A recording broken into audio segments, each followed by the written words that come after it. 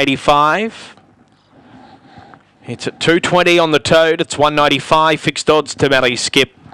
Talangi Chief, Chili Allen, both 650. Green light. Race forward. Ready to go. And they're off now, and Tamale Skip step fast down on the inside. Away well also is Kraken Copper, and Kraken Copper will find the lead in front of Tamale Skip, who's got plenty of room along the rails to kick through. Into third placing coming over is Chili Allen, and fourth the outside is Sneak Preview. Then followed Bacali Lewis, Talangi Chief well back, and at the end of the field here are Chill Out Al and Stiora into the straight. It's Kraken Copper just. Tamale Skip can't get there, flashing home Chili Allen on the outside, but Kraken Copper staves them all at bay.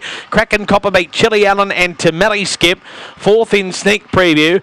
They're followed home then by Talangi Chiefs, Diora Chill Out Al and Bakali Lewis at the tail. Run here 27.65.